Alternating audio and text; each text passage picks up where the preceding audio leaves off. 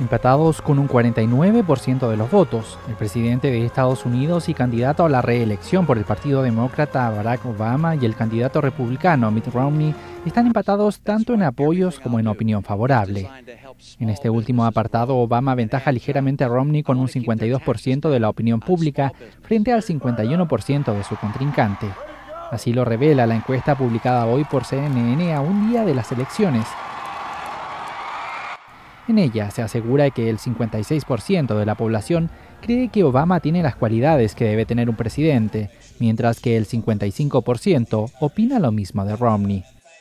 En Florida, el rapero de origen cubano Pitbull pedía el voto para el actual presidente así. Adelante para arriba, no mires para ni para impulso. En cambio, el republicano continúa liderando entre los votantes blancos con el 57% frente al 40% de Obama.